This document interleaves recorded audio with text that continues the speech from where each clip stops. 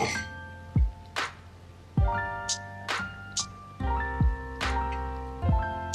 Hello, j'espère que tu vas bien. Peut-être que tu es intéressé par les études d'archi, peut-être que tu vas rentrer en archi l'année prochaine ou alors que tu es juste curieux par rapport à ces études. Moi je viens de finir ma première année, je m'appelle Louise Blanche, je suis étudiante à l'école nationale supérieure d'architecture de Nantes. Et donc aujourd'hui, je vais te raconter un petit peu tout ce qu'on a fait pendant notre première année d'école d'archi. Alors bien sûr, c'est spécifique à l'ENSA Nantes, mais si tu vas rentrer à Nantes l'année prochaine, bah je pense que tu vas être très intéressé par cette vidéo. Et sinon ça peut quand même te donner un peu une idée de ce qu'on fait pendant la première année ou alors de comment ça peut se passer ou alors de ce qu'on voit. Je vais essayer d'aborder un petit peu tout de manière chronologique, de la rentrée, l'intégration, les cours du premier semestre, du deuxième semestre, comment se passent les examens, comment se passent les notations. Alors j'ai fait déjà plein de vidéos sur l'archi. Je te laisse aller voir ma playlist sur l'architecture que je te mets dans le petit i juste en haut. Dans cette playlist, je t'explique tout le cursus de l'architecture, les admissions, comment ça se passe, etc. Je réponds aussi à toutes vos questions que j'ai reçues sur l'architecture. Et j'ai une deuxième playlist, ma vie en archi, que je te mets aussi juste ici. Et là c'est plus bah, ce que j'ai fait pendant ma première année. Donc pour le coup tu vas pouvoir vraiment voir ce qui s'est passé à l'instant T parce que je filmais en même temps que je faisais mes études. Donc je pense que ça peut aussi te donner plein d'indications et être hyper intéressant. Donc si t'as pas vu mes vidéos de cette année, bah va les voir parce que c'est là que tu auras le plus d'informations. Cette vidéo c'est plus un condensé de tout ça mais sinon si tu veux voir vraiment le pendant, le comment ça se passe, bah je te laisse aller voir toutes mes autres vidéos en fait. Donc bon, je vais t'expliquer tout ce que j'ai fait pendant mon année de L1, de la rentrée à la dernière journée, histoire que t'aies un peu une idée de comment se passe une année en école d'archi. Donc j'espère que ça va te plaire, si ça te plaît, petit pouce bleu, petit abonnement et c'est parti Donc comme je te l'ai dit, moi je suis étudiante à l'école de Nantes. C'est une école donc qui est publique, ça s'appelle euh, l'ENSA Nantes, c'est sur l'île de Nantes. Alors ma première année c'était en 2020-2021, donc il y avait encore un peu le post-Covid, tout ça, on a eu des confinements donc c'était un petit peu différent de comment c'est normalement. Mais euh, je vais quand même te donner les grandes lignes et ça normalement ça change pas selon les années. Euh, j'ai vu aussi avec des années d'avant et normalement c'est assez similaire. Donc bien sûr ce que je vais te dire c'est mon expérience, c'est ce que j'ai vécu, c'est propre à Nantes, c'est aussi propre à moi-même. Genre c'est pas du tout une généralité pour toutes les études d'archi, c'est pas une généralité pour toutes les personnes mais ça peut juste te donner une idée, peut-être t'aider, peut-être te rassurer, être raconter mon vécu, comment ça s'est passé, ce que j'ai fait, voilà, j'espère que t'as compris. À Nantes, il y a un truc qui était trop bien, qui était organisé pour la rentrée parce qu'on était quasiment tous des gens d'autres villes. En tout cas, on connaissait à peu près personne. Le dimanche soir, avant la rentrée, on avait fait un petit pique-nique euh, devant l'école parce que l'école est juste face à la Loire. Il y a des grandes pelouses et tout, donc on pouvait se retrouver là-bas. Et c'était vraiment chouette. J'avais pu rencontrer des gens, notamment euh, bah, mes meilleurs amis de maintenant. Je crois que je les ai rencontrés euh, ce soir-là, un truc comme ça. Et surtout, ça permettait le lendemain d'arriver, de déjà connaître un peu les têtes, de pas se sentir totalement seul et tout. Il y avait des petits groupes qui se formaient on connaissait personne mais au moins bah, c'était un peu plus détente, un peu plus relax. Donc ça c'était vraiment genre l'avant la rentrée. Il faut savoir que moi j'avais emménagé dans ma chambre étudiante euh, le week-end juste avant la rentrée, euh, ça passe crème hein, si ton logement il est déjà meublé et tout, c'est tranquille. Et du coup la rentrée elle était la deuxième semaine de septembre, donc en gros on s'est tous réunis dans l'auditorium et il y a euh, le directeur, les profs et tout qui nous ont fait une petite présentation générale de l'école, de ce qu'on allait faire. Voilà la présentation de base en auditorium, enfin je pense que c'est un peu partout dans toutes les écoles de la même manière. Et ensuite on a commencé, donc en fait la première semaine à Nantes on a un atelier, un workshop de danse alors c'est pas vraiment de la danse, genre c'est plus savoir appréhender l'espace, un truc comme ça, c'est assez bizarre. En gros tu, utilises ton corps dans l'espace et tu apprends à mieux comprendre l'espace. Honnêtement j'ai jamais su l'expliquer, même à mon entourage et tout, c'est un peu nimp. Mais honnêtement euh, il y a des moments c'était assez sympa, des moments c'était bizarre, un peu chiant. Mais il y a des moments c'était sympa et du coup ça permettait aussi comme on était par petits groupes que ça changeait et tout, de vraiment rencontrer des gens, aussi tisser un peu des amitiés. Donc ça c'était pas mal, ça permettait surtout de mélanger un peu tout le monde tu vois. Et aussi bah c'était plutôt marrant et puis ça permettait de faire un truc un peu différent mais qui a un lien un peu aussi avec l'architecture de découvrir aussi à quel point les gens en archi sont starbés, ce genre de truc. Donc ça c'était pendant la première semaine, honnêtement c'était plutôt chill. On était plutôt bien, on commençait genre à 9h30 le matin, on finissait à 17h. Et en fait le soir on se retrouvait tous sur les pelouses devant l'école et on faisait euh, genre des soirées en fait clairement. Donc tous les soirs de toute la première semaine il y avait euh, tous les L1 mais aussi pas mal de L2, même L3 et tout et du coup ça me permettait de, bah, de rencontrer des gens, de se faire des potes, d'avoir aussi des informations, ils répondaient à toutes nos questions. Et ça c'était trop bien parce qu'on avait tellement de questions surtout pour ce qui est euh, genre double cursus, les langues et tout, ce genre de choses. Euh, là ça permettait de poser la question aux gens qui le font vraiment. Et il y avait une super bonne ambiance donc on a fait en gros soirée tous les soirs sur les bords de la Loire et ça c'était trop bien. Alors je sais pas trop comment se passe l'intégration dans les autres écoles mais honnêtement généralement c'est quand même une bonne ambiance donc il n'y a pas forcément des soirées comme ça tout le temps. Mais euh, il y a des petits trucs qui sont faits et tout. Nous aussi pour l'intégration on avait des... En fait un espèce de jeu avec des défis pour trouver ses parrains, marraines et tout et c'était vraiment bien. Euh, c'était vraiment chouette. En fait, ils ont fait ça parce qu'on pouvait pas avoir de soirée d'intégration avec le Covid. Mais en tout cas, il y a toujours un peu des trucs d'intégration histoire de faire en sorte que déjà tout le monde se connaisse parce que c'est des promos 100, 120 personnes, tu vois, c'est quand même des grosses promos. Et en plus de ça, l'architecture c'est aussi bah, le partage, donc essayer de rencontrer un maximum de gens, de créer des amitiés et puis se sentir bien. Avoir des amis, ça aide vraiment ensuite pour le travail, pour le moral, donc euh, bah, c'est tout bénéf. Bon, ça c'était la partie fun, c'était la première semaine, l'intégration, la rentrée yes yes yes. Et après on est passé aux choses sérieuses, on est passé au premier semestre. Donc je vais t'expliquer tous les cours qu'on avait, il faut que tu saches pour les projets. J'ai fait une vidéo entièrement dédiée à mes projets, genre c'est tous les projets de mon année, de ma première année. Donc je te la mets juste là, n'hésite pas à aller le voir, je la mets aussi dans la description. Enfin tout sera aussi en description. Mais genre n'hésite pas à aller voir parce que comme ça tu auras tout en détail. Alors que là je vais passer très brièvement. Donc je vais t'expliquer un peu tous les cours qu'on avait au premier semestre. Alors ça dépend vraiment euh, des écoles. Donc encore une fois ne prends pas ça comme euh, règle stricte et tout. C'est très différent mais ça peut quand même te donner une idée. Donc je vais te mettre mon emploi du temps genre euh, là. Je vais me décaler un peu comme ça tu vas pouvoir avoir mon emploi du temps et mieux comprendre du coup. Donc on avait des CM et des TD. Donc les CM c'est des cours magistraux, c'est genre en amphithéâtre et c'est un prof qui parle devant toute la promo. Et les TD c'est plus par petits groupes et là tu vas faire des exercices et c'est toi qui fais et pas juste toi qui écoutes. En gros les CM tu prends des notes et les TD tu fais des exos. Donc tout d'abord le mardi pendant toute la journée on avait cours de projet donc le projet c'est un peu l'élément phare euh, des études d'archi où tu imagines un projet, où tu fais des plans, où tu fais des maquettes, où tu imagines tu fais de l'architecture, tu crées, en fait tu utilises euh, tout ton bagage de toutes les autres matières pour cette euh, discipline qui est vraiment genre faire de l'architecture et donc c'est ça le, projet. Et donc en gros nous pour le premier semestre on a surtout fait des projets en groupe, on était genre par groupe de 4 souvent, ce qui permettait de découvrir des gens, euh, de créer des amitiés ou pas d'ailleurs. Donc nous on avait des projets qui étaient assez fun, on a fait une cabane, on a fait une colocation et donc en gros on travaillait sur notre projet 4 euh, semaines d'affilée et en fait la dernière semaine on avait un oral donc avec tout notre groupe où on expliquait notre projet devant les profs et devant les autres gens du groupe. Donc on présentait nos planches et on expliquait notre travail, on montrait notre maquette, tout ça pour qu'ils comprennent bien et après à l'issue de ça on avait une note. Comme c'était le premier semestre c'était un peu plus de l'initiation à l'architecture donc euh, on faisait tout à la main, c'était euh, des projets qui étaient assez fun. En fait on était hyper libre et tout et le but c'était plus qu'on apprenne euh, la dynamique du projet et aussi travailler en gros. Et on avait un truc c'était, ça s'appelait le café des architectes et du coup là on devait lire un livre et le présenter devant les autres donc ça nous a donné un peu une culture architecturale. Ça nous a permis aussi de débattre, de discuter. Et on avait aussi un CM de projet. Et donc là c'était un cours magistral euh, soit pour nous parler des techniques de représentation genre euh, nous donner des informations sur les plans, les maquettes, ce genre de choses et nous montrer aussi beaucoup des exemples. Ou alors euh, c'était plus des exposés sur des agences ou des types de projets qui étaient en lien avec le thème de notre projet pour nous donner aussi de l'inspiration et nous donner de la culture surtout. Après le mercredi après-midi on avait histoire de l'architecture pendant deux heures. Donc au premier semestre on a étudié l'architecture de l'art nouveau jusqu'au style international donc en en gros on a fait euh, l'Art Nouveau, l'école de Chicago, le Bauhaus, le style international. Donc ça c'était vraiment un cours magistral, la prof elle nous mettait des diapos où il y avait des photos des bâtiments et les noms et elle nous expliquait un peu bah, comment c'était, comment c'était fait et on prenait des notes tout simplement. Après ça on avait un cours de dessin d'observation donc là on était par petits groupes avec un prof de dessin et on dessinait bah, ce qu'on observait, tout ce qu'il y avait autour de nous. Souvent on faisait un peu des balades dans Nantes où on se déplaçait histoire d'avoir des sujets différents à dessiner et le prof passait dans les groupes et nous donner des conseils et tout. Donc, en fait c'était bien pour les gens qui aiment dessiner et les autres genre ça les faisait chier. Moi j'aime dessiner donc ça me dérangeait pas, enfin j'aimais bien. Mais c'est vrai que 4 heures de dessin c'était un peu long.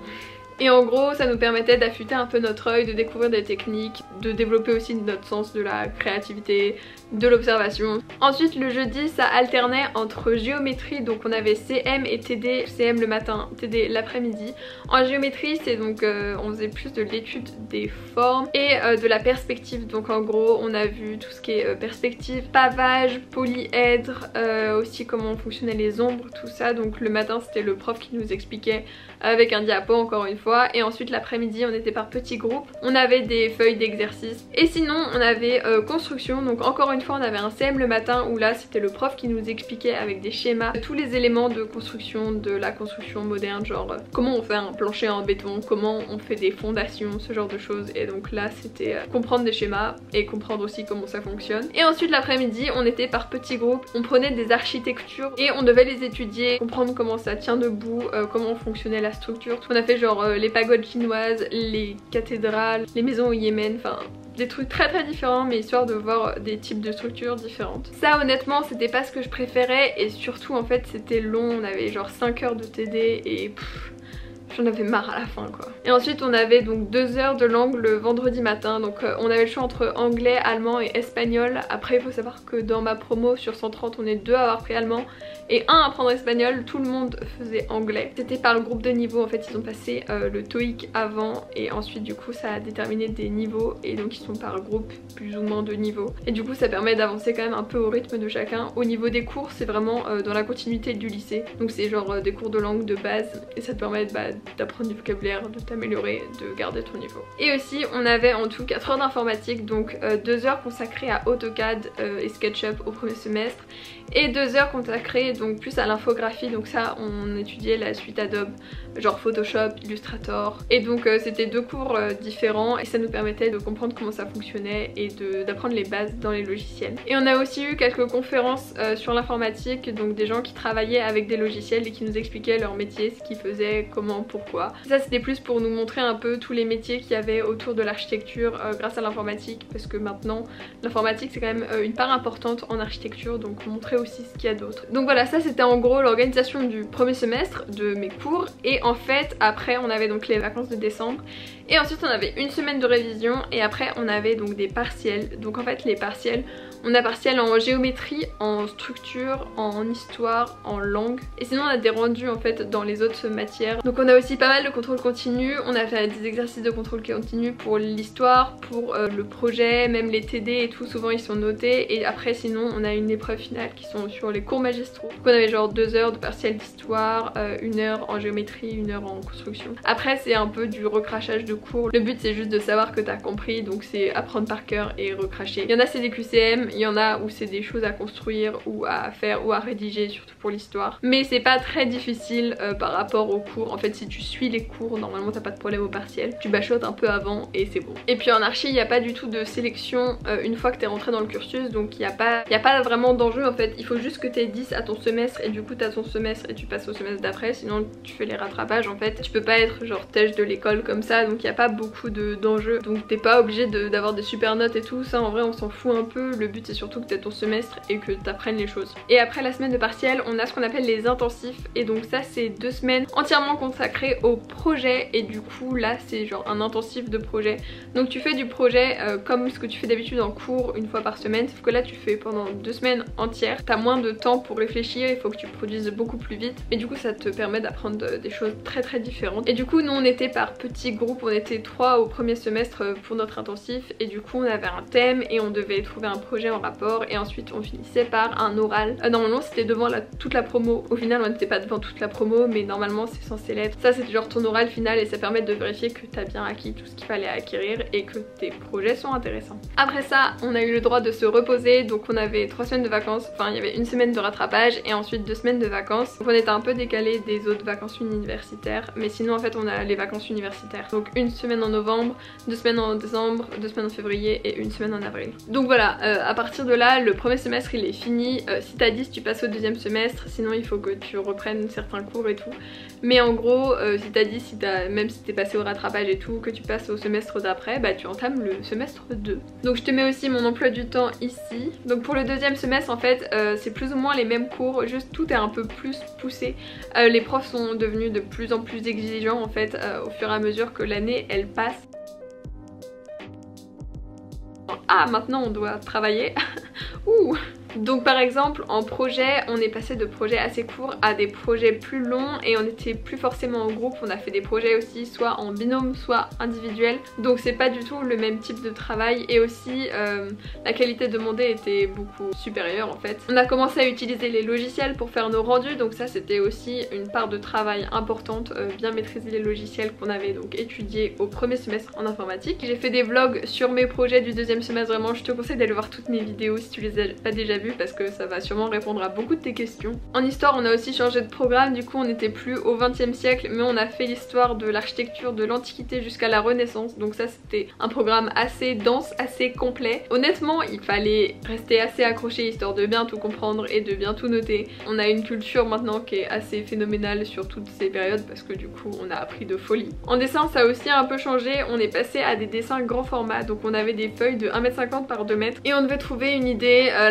l'approfondir, la dessiner etc. Donc c'était vraiment très très libre. On a fait ça euh, bah, du coup pendant tout le semestre avec aussi une sculpture, enfin un volume qui devait être en lien avec notre grand format. Et du coup on n'était plus dans le dessin à proprement parler, on était plus dans la création artistique, même le volume et tout donc euh, ça nous a fait tester des choses un peu différentes. La géométrie et la construction c'était la même structure. CM le matin, TD l'après-midi, juste en géométrie on a plus étudié les polyèdres et les courbes. Et en construction on a vu euh, genre les dalles, la toiture, ce genre de trucs. Mais sinon c'était vraiment très très proche. Les langues pareil ça avait pas changé et en informatique du coup on a changé, on a continué AutoCAD, on a essayé d'approfondir AutoCAD, de voir des techniques un peu plus poussées. Et sinon on a commencé Rhino, donc euh, Rhinoceros 3D, le logiciel de modélisation 3D. Et en plus de ces cours on avait une nouvelle matière qui était la sociologie. Donc généralement on avait deux heures de cours magistral et euh, une ou deux heures de TD, enfin ça variait en fonction des semaines et tout. Donc comme tu as pu le remarquer, moi j'ai pas de maths, pas de physique, pas vraiment beaucoup de sciences à part la construire, la géométrie, mais c'est plus appliqué comme science. Après ça change en fonction des écoles. Mais t'inquiète pas, le niveau requis il est pas énorme, enfin vraiment pas parce que il y a des gens qui viennent d'horizons très différents, donc pas de soucis là-dessus. Pareil pour le dessin, euh, c'est pas grave de pas savoir dessiner. Euh, je reçois la question genre 45 fois par jour. Non, c'est pas grave si tu sais pas dessiner. Ne pas savoir dessiner, ne pas être très bon en maths ou en physique, genre, pas de soucis pas de soucis.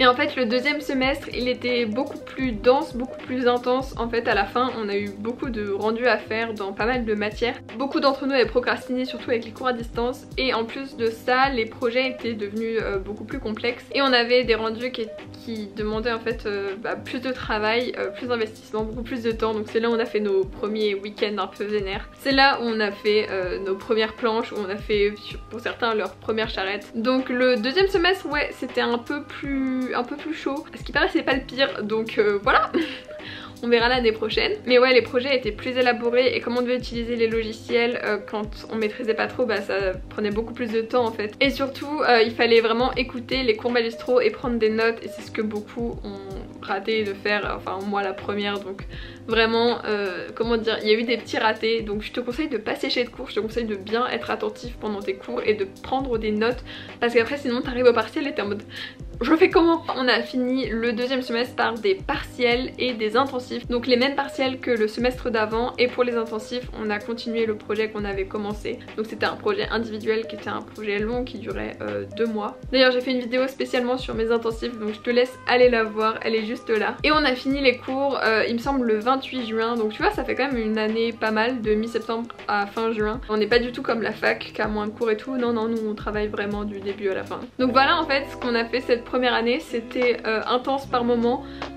par d'autres, euh, c'était très varié, très différent. Après encore une fois c'est ce qui s'est passé pour nous à Nantes, ça va sûrement changer pour les années d'après, ça change en fonction des écoles. Mais ça donne une petite idée de, bah, de ce qu'on a pu faire, de comment se passe euh, une première année en études d'archi. j'espère que cette vidéo t'a plu, j'espère que ça t'a intéressé, j'espère que t'as appris des choses. Peut-être que ça a répondu aussi à certaines de tes questions, à certaines de tes inquiétudes. Si t'as d'autres questions, tu peux les mettre dans les commentaires. Mais d'abord on va voir mes FAQ si tu les as pas déjà vus parce que souvent je réponds déjà aux questions Donc voilà, moi je te souhaite une bonne rentrée en études d'archi ou alors au lycée si t'es encore au lycée. Plein de force à toi, essaye de tout défoncer et de continuer à apprécier ce que tu fais. Si t'as aimé la vidéo, n'hésite pas à mettre un petit pouce bleu, à t'abonner à ma chaîne. Et tu peux me suivre aussi sur mon Instagram, je te le mets juste ici, blanche7. Je partage mon quotidien d'étudiante en architecture.